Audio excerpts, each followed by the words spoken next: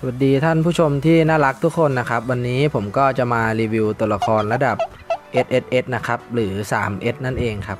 โดยวันนี้จะเป็นตัว Magellan นะครับ ก็คือตัวนี้ ก็จะมาดูกันว่า skill ของไอ้เจ้า Magellan ตัวพิษนี้จะเป็นประมาณไหนนะครับ โดยเราจะมา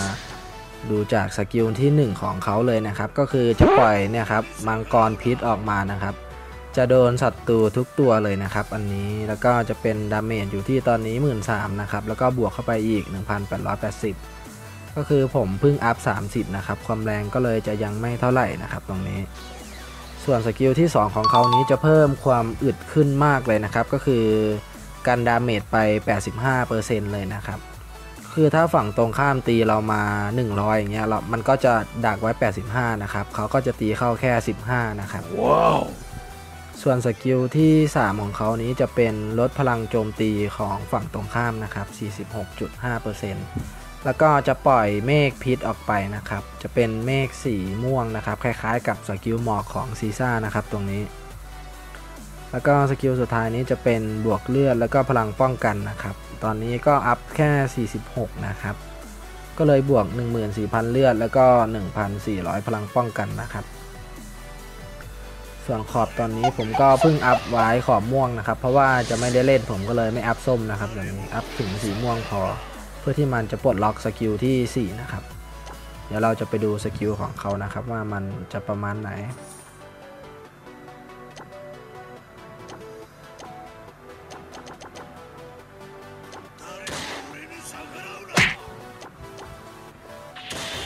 อันนี้เขาจะเปิด skill 2นะครับ ที่บอกว่าจะ block damage 85%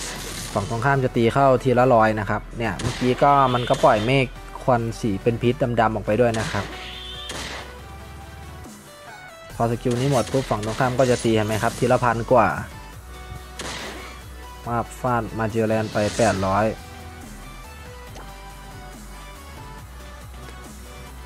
ส่วน skill ใช้ของเขานี้จะเป็นมังกรพิษนะครับ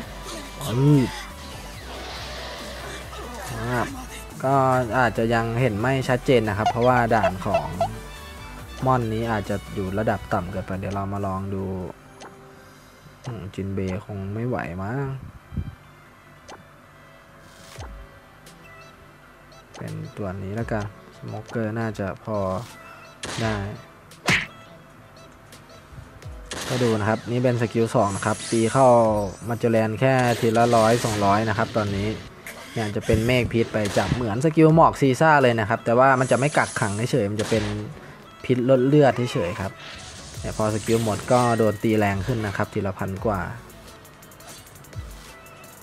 ครับอันนี้จะเป็นตัวแทงนะครับ Magellan คือเวลาเขาเปิด skill 2นี้จะมีความอึดขึ้นมากเลยครับเนี่ยฝั่งตรงข้ามจะแทบตีไม่ลงเลย ก็จะมี skill หมอกพิษด้วยนะครับผมแล้วก็ป่าพิษ เหมือนอารมณ์จะเป็น tank damage ด้วยนะครับ ตัวนี้แล้วก็เขาจะมี skill เปิดโล่ที่แข็งมากเลยนะครับเดี๋ยวเรามาดูแบบ auto คูณ 2 กันนะครับ เปิดโล่นี้จะถึกมากเลยนะครับ skill นี้นี่จะเป็นพิษเป็นสีม่วงอยู่ใต้เท้าคล้ายๆกับหมอกซีซ่ามากเลยนะครับ แต่หมอกซีซ่ามันจะดีกว่าตรงที่มันจะกักขังฝั่งตรงข้ามก็คือ ควบคุมไว้ไม่ให้ตีเราได้นะครับ น่าจะแรงแล้วก็พวกพ่นพิษอื้อหือ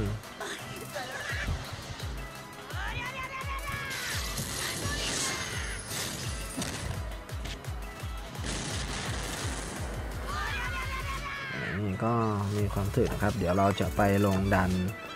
ปัจจุบันดูนะครับว่าเจอกับขอบสีแดงเขาจะไหวไหม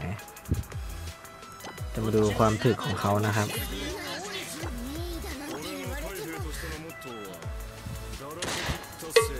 ดูนะครับ พอมาถึงปุ๊บเขาจะเปิดโล่อย่างเงี้ยโหดู ตีเข้าที่เขาทีละประมาณ 500 กว่านะครับ แล้วก็จะปล่อยพิษไปก็เรียบร้อยนะครับหายหมดแล้ว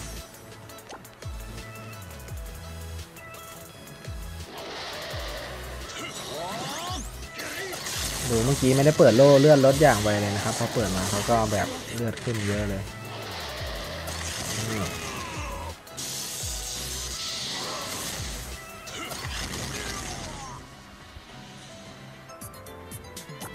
ก็ดู damage ก็ประมาณแสนเก้าพอๆกับเอสเพราะว่าเขาก็มี damage อยู่นะครับเขาก็ได้ใช้ skill damage ก็เลยเยอะหน่อยส่วนอีก 4 ตัวก็เอามาลงทีมไว้ให้ดูเฉยๆนะครับ อันนี้เหลือตีคนยังไม่ได้ตีคนเดี๋ยวเราลองไปสู้กับผู้เล่น 69 นี่พลังเท่าไหร่2 2 0 0 0รอรอรอออกปั๊บ2 3 0 0เราเยอะกว่าอยู่ ปั๊บ2 3 0 0อะพอๆกันนะครับผม เรามาดูกันว่าเอาคูณ2ดูมันเปิดโล่ฝั่งตรงข้ามตีไม่เข้านะครับตรงนี้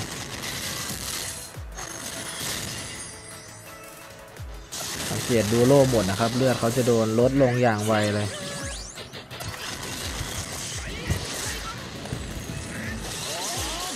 หายอย่างไวเลยเลือดหมดสกิลเปิดโล่เขาหมด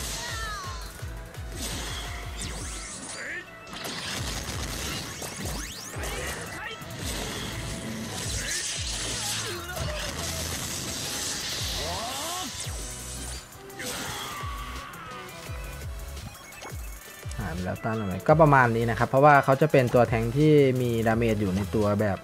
จะปล่อยเมฆเหมือนกับซีซ่านะครับ ตัวนี้ก็ถือว่าโหดพอที่จะเอาเข้าเป็นทีมตัวเน้นตัวหลักได้เลยนะครับ เพราะว่าเขามี skill พิษด้วย ก็สุดท้ายนี้ก็อย่าลืมกดไลค์กดแชร์แล้วก็กดติดตามเพื่อเป็นกำลังใจให้ผมด้วยนะครับ แล้วก็ที่สำคัญอย่าลืมกดกระดิ่งนะครับ จะได้ไม่พลาดคลิปใหม่ๆจากทางเราด้วยนะครับ สวัสดีครับ